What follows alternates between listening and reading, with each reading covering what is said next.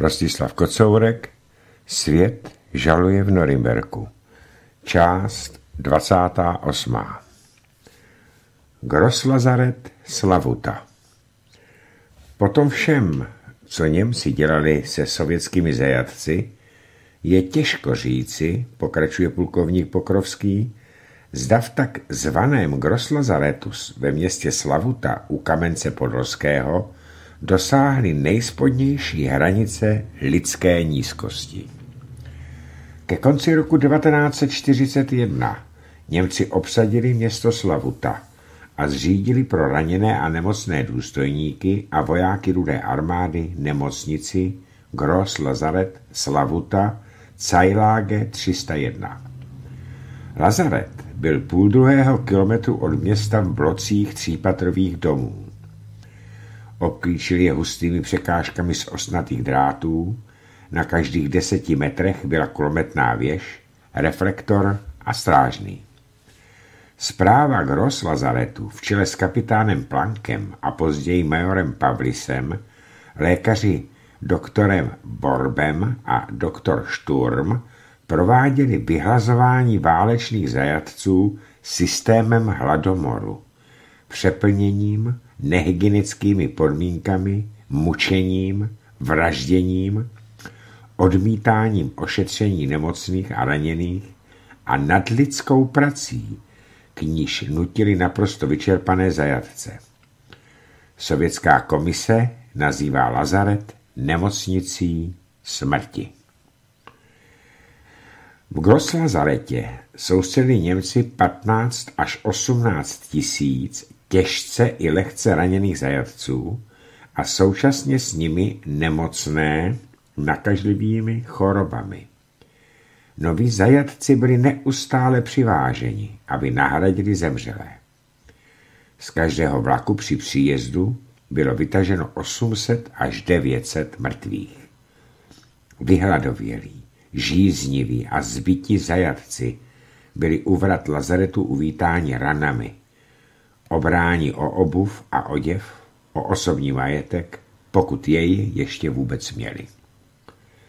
Němečtí lékaři, důstojníci, vytvořovali uměle v táboře neuvěřitelné přeplnění. Váleční zajatci museli stát, těsně namačkáni na sebe. Kdo nemohl stát a zroutil se, zemřel. Polové stoje padnout nemohl. Stalo se, že přijel nový transport. Nebylo místo. Ono to půjde, že ne? Německý voják otevřel dveře. Pustil dávku z automatu do masy stojících zajatců. Ti se přitiskli ve zděšení ještě více jeden k druhému. U dveří vznikla prázdná prostora. Tak vidíte, že to šlo jenom chtít. Do prázdného kousku nadspali další nemocné a raněné. Docpali místnost, zavřeli a zamkli dveře. Tyfus a tuberkulóza, zlomená ruka a prostřelená hlava, dizentérie, všechno v jedné místnosti, všechno ve stejném ošetření, tedy žádném. Místnosti nebyly nikdy čištěny. Nač? Vždyť se ti nečistí zajaci stejně nemíjí. Nebylo pro ně vody. Kamna, ta byla rozvalená. Není jich stejně třeba, což pak se tu někdy vůbec topí. Patnáct tun mouky bylo nalezeno v táboře po osvobození. V papírových pytlích s nápisem Scholmer 250 gramů takové mouky dostávali zajatci, když dostávali něco vůbec. Ústřední ústav výživy v Moskvě provedl rozbor. Zjistil, že nelze z této mouky samotné ani uhníst chleba, že neobsahuje žádných výživných látek a kdyby byli zajatci jedli z této mouky podle libosti, hladověli by stále k smrti. Zjistil, že to byla mouka nebezpečná. Nebyla to mouka. Byly tam kusy všeličehos dvou až tří milimetrové kousky slámy a osin, rostlinné tkáně a zrnka škrobu. Nevyhnutelný následek, podráždění vnitřností, onemocnění zažívacího traktu. Našel se chléb v Gros Lazaretu. Chléb, na nějž se vrhali zajatci, nedbajíce smrti, jež jim hrozila za jejich lačnost. 64% dřevěných pilin tento chléb obsahoval. Z prvních 112 pitvaných těl 96 patřilo krasnoarmějcům, který zemřeli tělesním vyčerpáním. Dalších 500 mrtvých bylo pitváno. Všech 500 odešlo se smrt, světa smrtí hladem. A to ještě lékaři zkoušeli všelijaké prostředky. Najednou, z ničeho nic, vypukla v táboře divná nemoc. A z ničeho nic přestala. 60 až 80% úmrtnosti. Obvykle to byla nemoc, již říkali němečtí lékaři, paracholera. Mrtvé si vzali lékaři pro sebe, pitvali si je sami, nepřipustili nikoho ze sovětských zajatých lékařů. Zdravotnického materiálu bylo v lazaretu velké množství, nebyl však používán. Raněným se nedostalo ošetření. Proč byli určeni na smrt? A nad to bylo v programu vedoucích lazaretu, aby poslední dny byly naplněny bolestí, ponížením a utrpením tak, jako byly naplněny místnosti stojícími mučedníky. Byli je při rozdílení stravy, byli je při práci, byli je stále a všude. A pak je ještě trestali. Naházeli je do místnosti s cementovou podlahou a nechali je tam v mraze bez jídla. Několik dnů. Raněné bojovníky. V nemocnici Slavuta bylo dbáno na tělesnou výchovu. Zajatci dostali rozkaz, aby běhali kolem baráků. Běhali. Kdo ne, byl zmlácen k smrti. Také konské zdechliny byly glos Lazaretu Slavuta s malým dodatkem, střílením na ty, kdož se k ním přiblížili. Čtvrtek 14. února. Vrah z Babělec. 150 tisíc zajatých krasňoarmějců bylo za dva roky vyhlazeno v táboře zvaném Groslazaret Slavuta. Němci se snažili zakrýt stopy, nebo alespoň ukrýt část svých zločinů. Falšovali i hroby. Udávali počet pohřbených falešně. Například místo 32 napsali 8. To bylo na malých hrobech. Velké neměli nápisu. Němci je skryli. Vedli přes ně nové cesty, aby se na ně nepřišlo. Vysázejí na nich a kolem stromky. Zakryli je záhony květin. Nasázeli zemědělské rostliny. Ale hroby byly objeveny. Mrtví, tázání lékaři po příčinách smrti. Písek a hlína byly nalezeny v dýchacích ústrojích mnoha mrtvých. To byli ti, kteří byli pohřbeni zaživa. U Berdičeva byl německý výchovný tábor. Do tohoto tábora bylo dopraveno 78 válečných zajatců. Byli to vesměs těžce ranění krasnoarmějci. SS Sturmbannführer Knop o nich praví. Některým chyběly obě nohy, jiným obě ruce, jiní neměli buď ruku nebo nohu. Jen několik z nich mělo všechny údy, ale ti byli raněni do nohou tak, že nebyli schopni práce. Velitel tábora dal rozkaz, aby tito zajatci byli popraveni, protože jsou pro svou pracovní neschopnost povážlivým břemenem pro tábor. Vybral k tomu tři SS-many, mezi nimi SS Rottenführera Friedricha Haselbacha. Vybral jej proto, že Haselbach měl zvláštní doporučení. Byl členem popravčích čet, které v Kijevě postříleli desetitisíce lidí. Táboře samém už postřílel několik set lidí. Vzali několik věznů z tábora. Jeli vykopat hrob na místo vzdálené asi dva kilometry od tábora. pak za nimi přivezl vůz zmrzačené krasnoarmějce. Vůz řídil ukrajinský voska.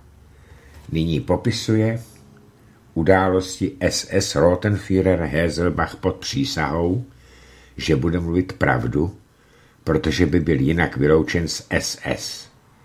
Materiál je totiž vzat z archivu policejních německých soudů v Žitomíru. Když jsem popravil prvnici zajatce, slyšel jsem nejednou nad sebou křik. Protože byl čtvrtý zajatec už na místě pro popravu, oddělal jsem ho a vyhlédl jsem z hrobu. Kolem vozu byl velký zmatek. Zaslechl jsem střelbu a viděl jsem zajatce, jak se rozbíhají na všechny strany. Nemohu dát žádnou jinou podrobnost, protože jsem byl od vozu nějakých 50 metrů vzdálen. Mohu jen říci, že dva moji kamarádi leželi mrtví na zemi a že dva zajatci stříleli na mě a na šoféra se zbraní, jich se zmocnili. Když jsem si uvědomil, co se stalo, vystřelil jsem poslední náboj, zasadil nový zásobník. Tu jsem poznal, že kulka dopadla těsně ke mně. Měl jsem dojem, že jsem zasažen, ale potom jsem zjistil, že jsem se mýlil. Vysvětluji si to nyní nervovým otřesem. Pak jsem tedy vystřílel druhý zásobník za prchajícími zajatci, ale nemohu říci, zasáhli jsem někoho nebo ne. Pohřeb zastřelených SS-manů se konal na žbitově SS hrdinů v Hegewaldu. Plukovník Pokrovský komentuje. Zvuk jediné kulky, která letěla kolem Hezelbacha, vyvolal v něm nervový otřes a pocit, že je raněn. Lidé takového druhu byli svými veliteli nazýváni hrdiny. Zajatecký tábor v Minsku byl velký asi jako Wilhelmplatz. Začíná zpráva sepsaná Němci 10. července 1941. Je v něm 100 tisíc válečných zajatců a 40 tisíc civilních vězňů. Zajatí jsou na této malé prostoře tak na sebe namačkáni, že se mohou stěží pohnout. Svoji potřebu musí vykonávat tam, kde stojí. Tábor je hlínán rotou vojáků. Poněvadž je strážců málo, může být dozor nad táborem vykonáván jen užíváním brutálních prostředků. Jediná řeč strážních, kteří jsou ve službě od rána do noci, je řeč zbraní. Používají jich bezohledně. Katinský les Mimořádná státní sovětská komise, která vyšetřovala hromadnou popravu polských válečných zajatců v Katinském lese nedaleko Smolenska, se skládala z akademiku Burdenka, Alexeje Tolstého a metropolity Nikolase z předsedy Všeslovanského výboru generála Kordunova, předsedy výkonného výboru Červeného kříže a půlměsíce Kolesnikova, lidového komisaře výchovy akademika Potěmkina, přednosti lékařského oddělení Rudé armády generála Smirnova, předsedy okresního výkonného výboru Smolenského Melníkova. Toto jsou závěry její zprávy. Na základě všeho materiálu, výslechu více než jednoho sta svědků, zpráv lékařských odborníků, dokumentů a dokladů osobního majetku nalezeného v hrobech v Katinském lese, došli jsme k těmto konečným závěrům. Polští zajatci byli drženi před válkou ve třech táborech na západě od Smolenska a zaměstnáni při stavbě dráhy.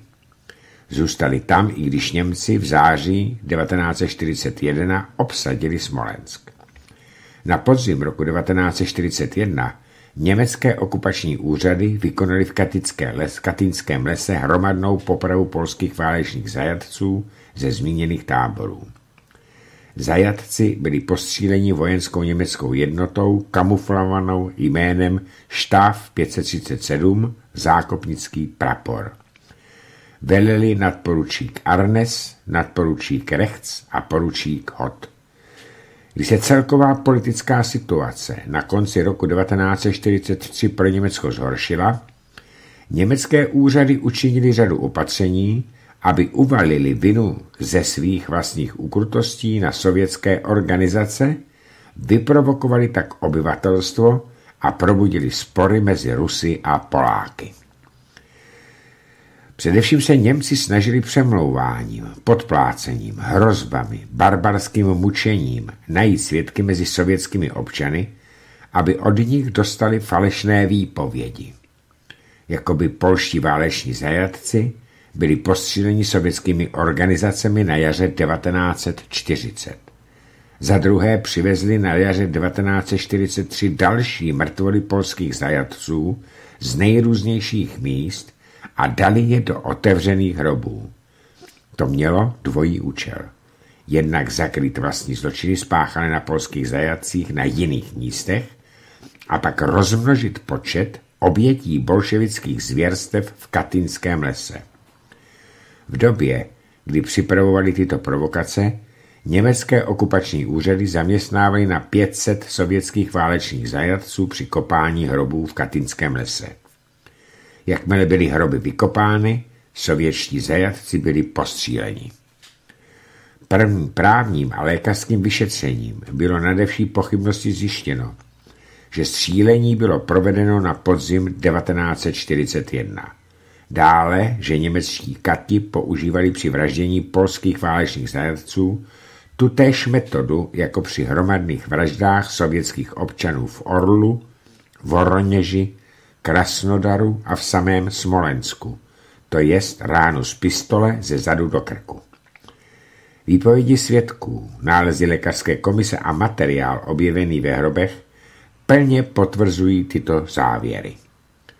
Katin je jedním z činů, jimž byla, jimž byla prováděna politika vyhlazení slovanských národů. Když se polští důstojníci a vojáci vrátili ze zajateckých táborů z Německa, uzavírá polská oficiální zpráva, měli se možnost dozvědět se další podrobnosti o poměrech v německých zajateckých táborech. A všechny tyto podrobnosti potvrzují, že byla jednotná linie politiky v instrukcích a nařízeních, pokud jde o polské zajatce. Kruté zacházení, utrpení, a nelidské podmínky byly zjevem obecným. Vražda a těžké tělesné ubližování zjevem velice častým. Jihoslované v Norsku V roce 1942 bylo přivezeno do tábora Boten u Rognánu v, Norském, v Norsku 100 eh, tisíc jihoslovanských válečných zajatců. Za několik měsíců nebyl již ani jeden naživu. Zemřeli. Vyhladověli, zemřeli nemocí, na močidlech, na popravišti, zavraždění. Pracovali za nejhorších klimatických podmínek tohoto severního Norska na silnicích. Rány a střílení byly jim druhy.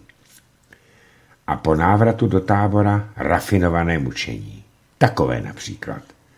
V srpnu 1942 večer vydal velitel tábora rozkaz. Zítra ráno nesmí mít žádný zajatec na svém těle ani vlásek, ani chloupek. A v táboře nebyly, nebylo břitvy, nebylo čepelky. Němci nedali.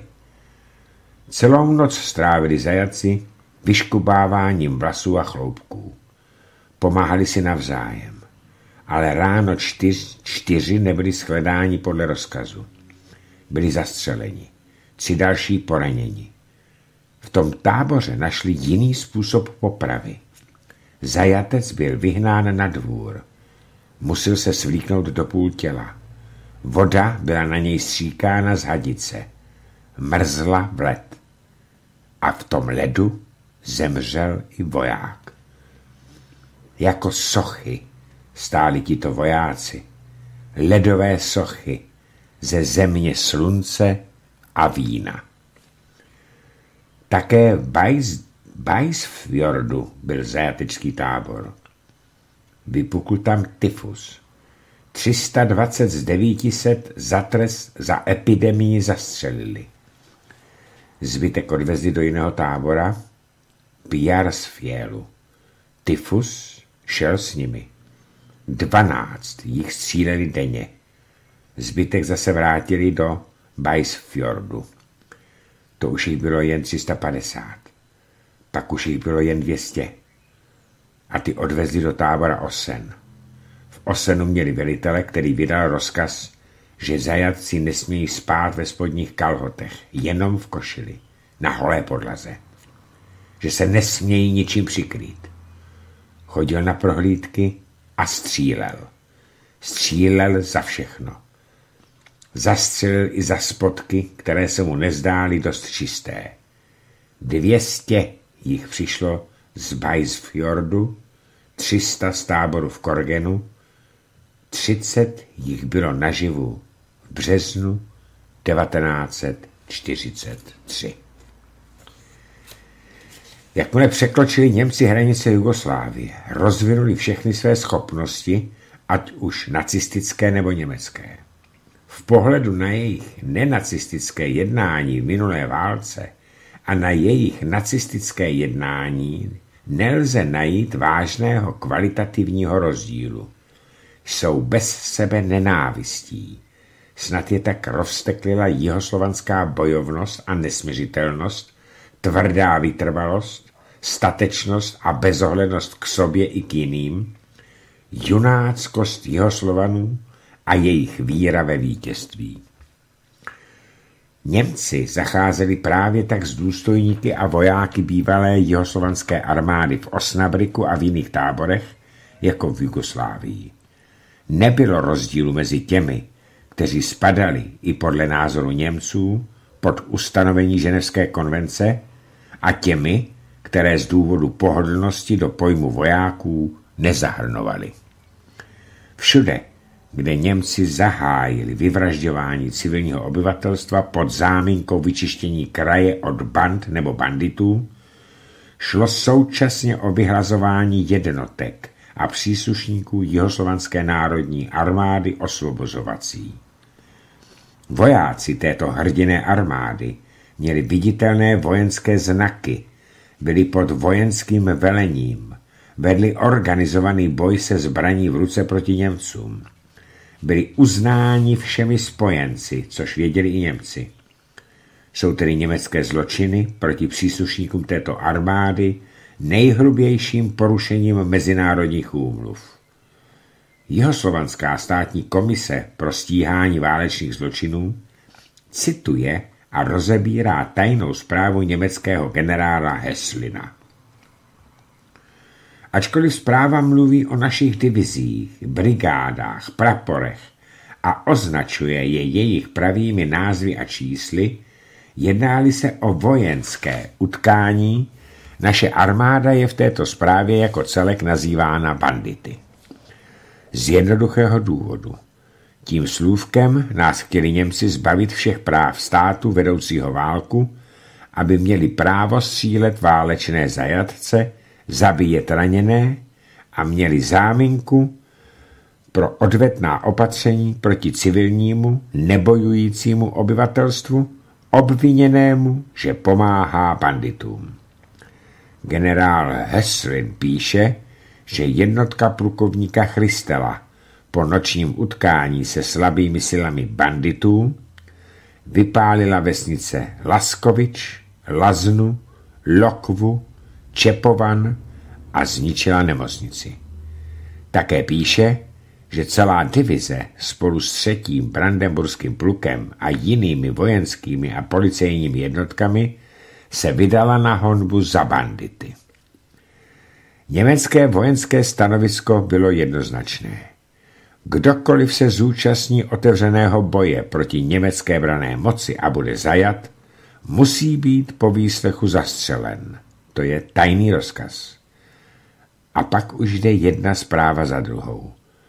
18 banditů, 1043 banditů, 164, 86, 77, 80.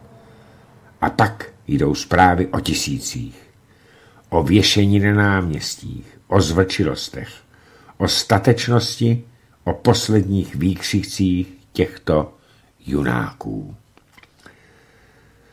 Z československého materiálu uvádí prokurátor dokument o Havlíčkově brodě. Jeho význam netkví jen ve skutečnosti, že vrhá nové světlo na fašistické zločiny, nejbrž v tom, že k němu došlo v době, kdy už hitlerovci jasně věděli, že jejich dny jsou sečteny.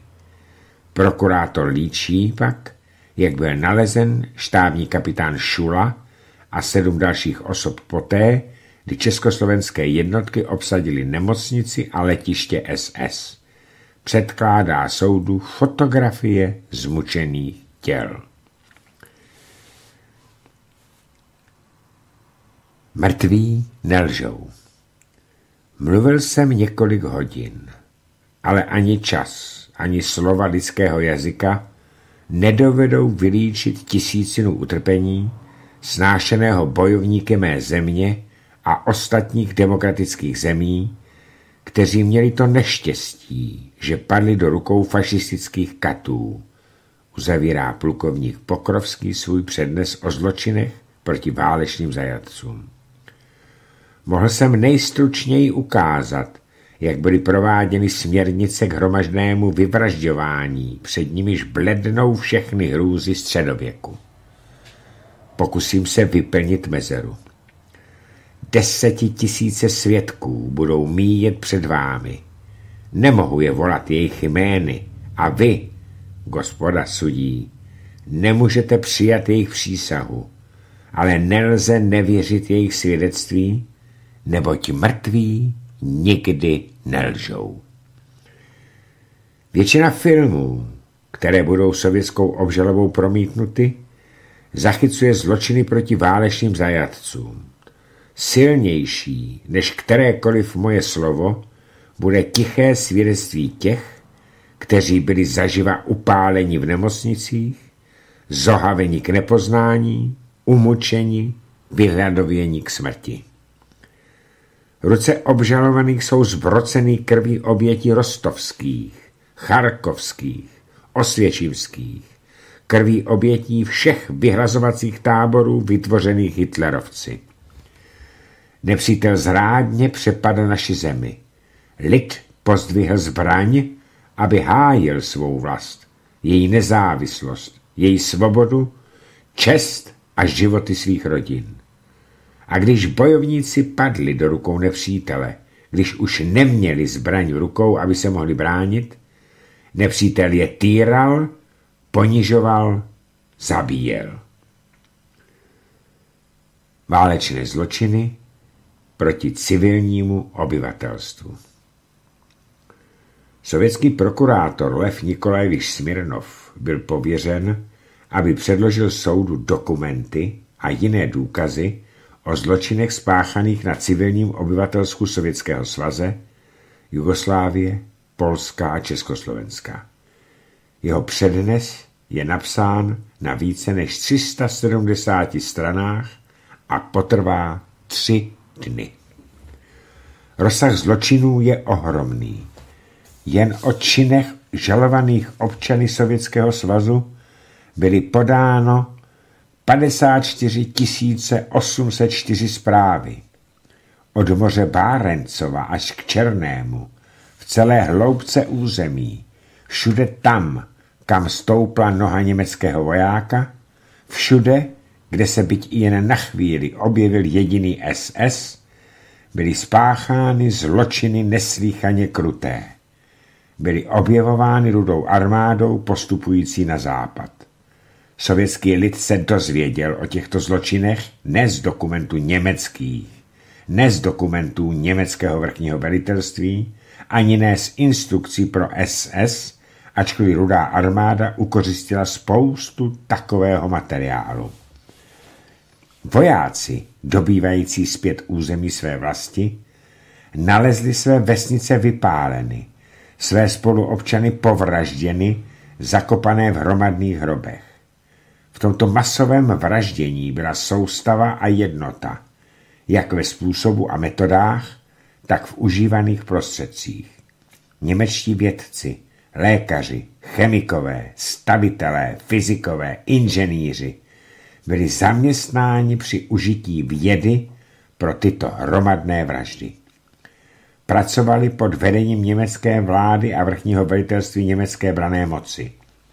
Oběti, vykopané z hrobů tisíce kilometrů od sebe vzdálených, byly pobyty různými jednotlivci, ale touže metodou. Jejich rány zely ve stejných částech těla. Jejich hroby byly stejně kamuflovány. Stejných výrazů bylo užíváno k rozkazům dávaným obětem, bezbraným a bezmocným lidem, aby se slékli, položili obličejem dolů do připravených hrobů a na zastřelené spoluobčany. Prokurátor cituje Molotovovu notu, odhalující tento jednotný plán již v lednu 1942. Ve svém přednesu poukazuje Smirnov, že obžalovaní hlavní váleční zločinci vytvořili vědomým posilováním nízkých pudů německých vojáků ovzduší nezodpovědnosti a že legalizovali režim teroru. Že lidé, jejichž úkolem bylo provádět hromadné vraždy, byli vybíráni a školeni, že zločiny byly prováděny v obrovském rozsahu a na místech zeměpisně daleko od sebe vzdálených, že vyhazovací metody byly postupně zdokonalovány od zastřelení do staveb vyhazovacích táborů. A konečně prokáže skutečnost, že si Němci byli vědomi, že páší zločiny, protože se je snažili zakrýt. To ovšem až v době, kdy poznali, že vítězství nebude jejich. Zbavím vás fantomu svědomí. Na zavraždění milionu lidí nestačí, dovozuje prokurátor, vynalézt formuli cyklonu A, ani skonstruovat plynové komory a krematoria, nebo připravit podrobné rozkazy pro hromadné střílení. Bylo také nutno vycvičit a připravit tisíce lidí, tisíce mužů, kteří by tyto plány prováděli, kteří by je chtěli provádět, a to nejen ve formě, nýbrž i v jejich duchu, jak řekl Himmler v jedné ze svých řečí. Bylo nutné vychovat osoby, které by neměly ani srdce, ani svědomí, osoby, jež by byly zcela amorální, které by vědomě odvrhly všechny základní zásady, jak morálky, tak etiky. Bylo nezbytné uzákonit teoretický základ, aby bylo možné nahradit pojem viny za pojem podezřelý. Za pojem trest pojem preventivní čistka nežádoucích živlů z důvodů politických. Za pojem spravedlnost pojem, pojem právo Herrenfolku. Za pojem práva pojem správní krutovláda a policejní teror. Aby byly rozkazy prováděny, aby byly prováděny zákony a směrnice, bylo nutné přesvědčit stovky lidí, kteří je měli provádět a kteří měli být cvičeni, jako jsou cvičeni policejní psy, bylo nutno je přesvědčit, že nemají vůbec žádné odpovědnosti. To je důvod, proč chtěl Hitler zbavit lidstvo fantomu zvaného svědomí a morálka. Základní skupiny vykonavatelů byly cvičeny ve zvláštních výchovných ústavech. Jejich síť zasahovala i nejnižší úředníky. Ze svědectví německého vojáka je znám tento popis kurzu. Kurs obsahoval řadu přednášek vedoucích důstojníků tajné polní policie, v nich se nám udokazovalo, že obyvatelé Sovětského svazu jsou nižší rasa, zejména obyvatelstvo ruské národnosti, že sice budou ve velké většině vyhubeni, ale že část bude ponechána naživu, aby pracovala na statcích německých sedláků. Tato základní myšlenka, která tvořila program německé vlády v obsazených východních krajích, byla prováděna všemi členy německé armády. Také mnou. Hovořil svědek. Pak se učili zvykat si na mrtvoly. Měli kurzy ve spalování mrtvol, v zacházení se stroji, v nich byly drceny lidské kosti na zúrodňující prášek. kurzy v kamuflování hrobů. To platilo pro starší generaci. Mladá už byla pokrokovější, měla začátky za sebou, byla teoreticky vyzbrojena. Pro mladé, pro členy Hitlerjugend museli dát němeští vychovatelé něco silnějšího, například živé terče. A protože v Hitlerově mládeži byly skoro děti, dávali jim za terče také děti. Francouzská světkyně, žijící nyní ve Lvově, vypověděla. Malé děti byly mučedníky. Byly dávány Hitlerově mládeži darem jako živé terče. Motem Němců bylo žádné smilování pro jiné, všechno pro nás. Byli jsme bezmocnými svědky těchto scén. Tak byly stvořeny, vychovávány a vycvičeny ony morální obludy, které byly povolány provést program fyzického zničení obyvatelstva východních krajů. Německá vláda se nemusela obávat, že nositelé socialistické revoluce na východě ukáží sebemenší rys lidskosti. Neukázali. Prohloubili ještě nacionálně sociální ideologii vlastními podrobnosti a dělali Herrenvolk, tedy panskou, panský lid, panskou rasu. V janockém táboře svazovali v zimě vězňů ruce a nohy, posadili je do sudů naplněných vodou a chodili se dívat, brzoli už zamrznou. Trvalo to krátce, proto zahynulo mnoho lidí, než se pro ten den Němci zábavy nasytili. Děti se učili střílet. Vězeň držel sklenici. Němec střílel. Trefili, byli Němci pišní na sebe, velkomyslnými. Mohl podržet sklenici ještě jednou. Netrefili sklenici, ale vězňovou ruku, bylo zle. Zastřelil vězně. S odůvodněním. Vždycky nějaké odůvodnění bylo, protože měli svůj pojem práva. Odůvodnění znělo, zastřelen, protože nebyl schopen práce. Měli lékařské prohlídky před prací. Skládali se zejména z běhu na 50 metrů vysokou travou sahající k bokům. Kdo se zamotal, kdo klouzl, kdo nevyžel rychle, nebyl lékařsky uznán k práci a v důsledku toho okamžitě zastřelen. Malé děti nebyly přece schopny práce. Topili je v sudech. Ženy, které neobstály při lékařské prohlídce, byly pověšeny za, vlat, za vlasy, šaty z nich byly strhány, vysely až po, do smrti a celé týdny po ní. Byla fronta na každé jídlo. Proč si první je frontě? Tázal se humorně Hain. A zastřelil ho. Proč si první ve frontě? Tázal se humorně, ještě potutelněji Hajne. A zastřelil dalšího. Jak to, že stojíš první ve frontě? Vždyť si tu nestál, říkal. A tak ho taky zastřelil. A pak šel na konec fronty. Proč stojíš poslední ve frontě? A den pěkně začal. Kapitán Fritz Gebauer zase rád škrtil. Nejprve děti před matkami pak, pak matky před druhými dětmi. Velitel tábora Oberststurmführer Wilhaus a jeho žena sedávali u okna s výhledem na tábor. Povídali si a mezi řečí si občas řekli, trefil bys ho? Zkusili to. Trefil. A zdali pak bys ty trefila tamhle toho? Namízila paní Wilhausová a později už tak často nechybila. Tito manželé měli dítě, docela rozkošné děvčátko. Devět let mu bylo.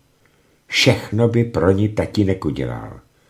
Pro její potěšení vyšel s ní před dům, dal si přinést nějakého z vězněných capartů, ne moc těžkého, na nejvýš tak čtyřletého, aby letěl hodně vysoko. Přinesli a házeli. Hodili klučíka do vzduchu, otec Wilhaus zamířil, trefil. To se dceru se velmi líbilo. Papa, papa, ještě jednou, ještě jednou. Co by milující otec neudělal pro svou dceru? A dále, vsadil se jakýsi webke, že rozsekne jednou ranou sekery chlapce. Sáska vyš byla uzavřena, vyšli na ulici, chytili desetiletého hocha, donutili ho, aby si klekl a zakryl si obličej rukama. Webke si zkusil sekerou směr, narovnal chlapcovu hlavu do správné polohy a vyhrál sásku. To bylo nějakého gratulování a potřásání rukou. Velitel tábora dostal originální nápad, jak oslavit Hitlerovi 53. narozeniny. Vybral osobně 53 vězně, pak na Hitlerovo štěstí a zdraví ještě přidal 54. a jednoho po druhém zhasl jako svíčky na narozeninovém tortu. Pod trestem smrti nesměl být nikdo v táborové nemocnici déle než 14 dní. Vždy 1. a 15. každého měsíci byla kontrola.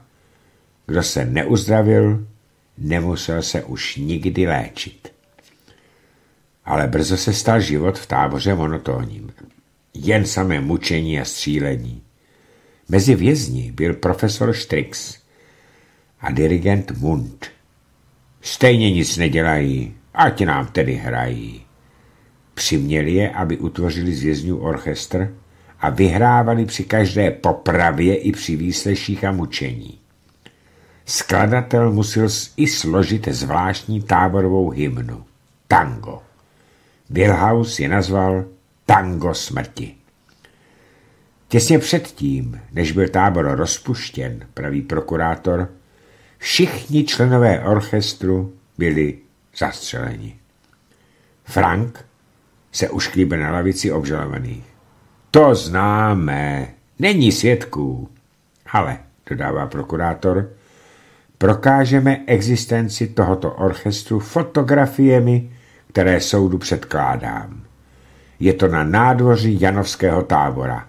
Vězni s hudebními nástroji hrají tango smrti, jsou postaveni v kruhu, uprostřed dirigent Mund. To už není mráz, který jde po zádech.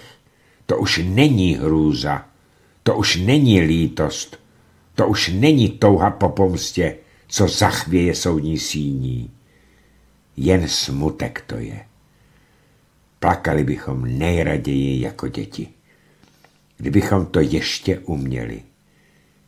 Jak asi hráli vězňové na poslední cestu svým spolutrpitelům? Jak nejlépe mohli? Loučili se s nimi? Nebo byli už tak sami zničeni, že už jenom prostě hráli? SS i vojáci. Není rozdílu mezi chováním německých vojáků a německých zvlášť cvičených a zvlášť organizovaných SS. Stejnou stopu za sebou zanechávají. Jen v tom bývá rozdíl, že SS bývali na jednom místě, v jednom táboře, když to vojáci postupovali a ustupovali. Němečtí vojáci a důstojníci kradli a loupili. Své loupeže doprovázeli bezecnými činy. Mučili, střídali, mstili se. Ještě nikdy v žádné sebezdivočelejší armádě nebyl zjištěn takový obecný stupen zločinnosti, jako v armádě německé.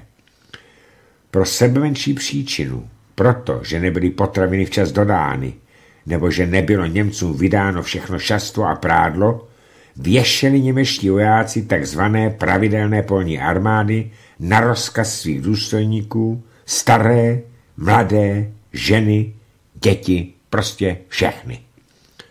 30. června vtrhli do Lvova. Druhý den uspořádali pod heslem Zabžidy a Poláky masakr.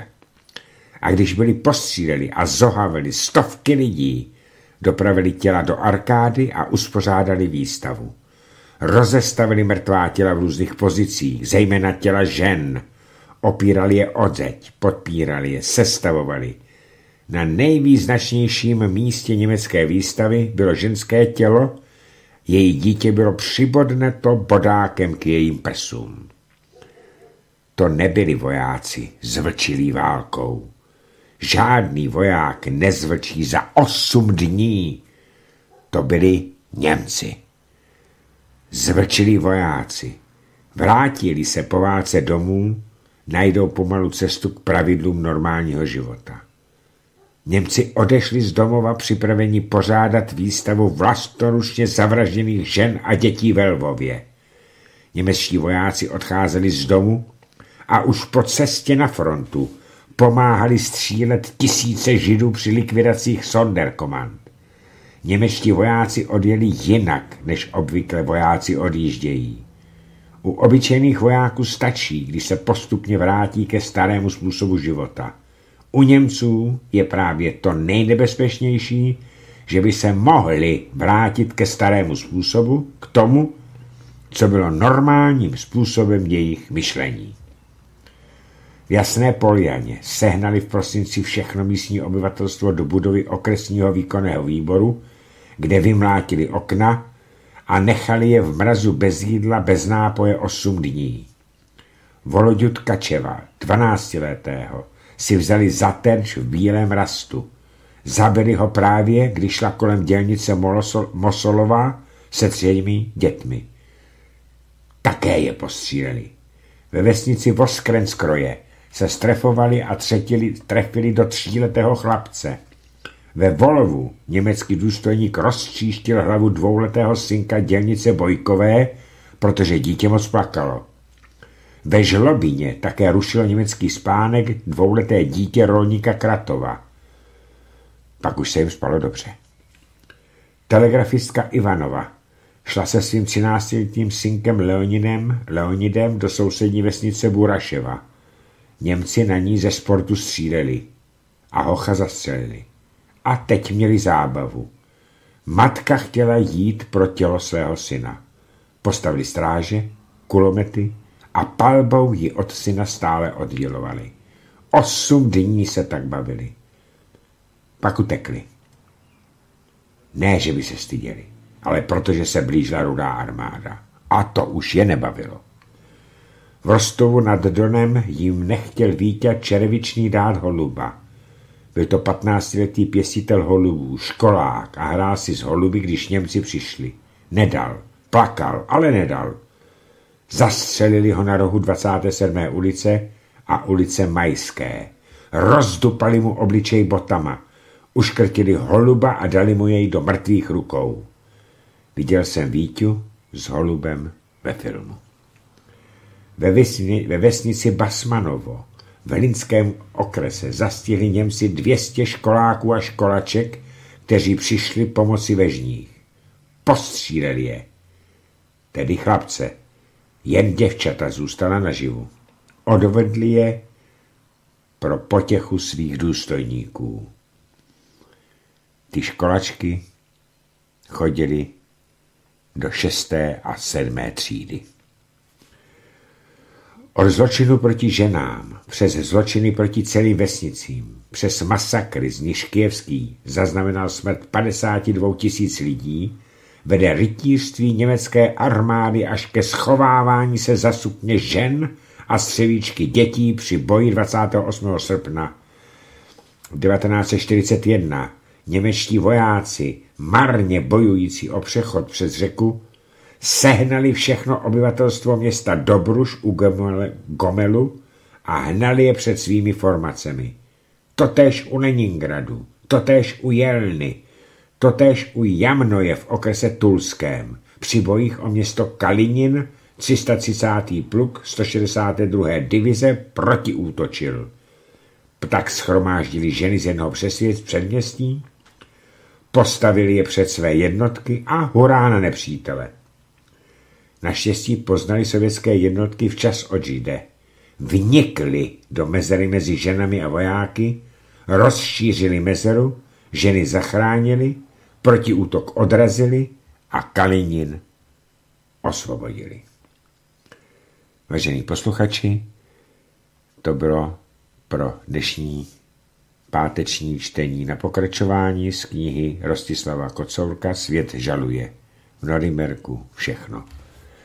Teď si dáme, teď si dáme do 18 a 18 hodin přepojím na další studio Svobodného rádia, abych se vrátil v 19 hodin v pořadu s paní doktorkou Ludmilou Elekovou a doufám, že tentokrát vše dopadne dobře.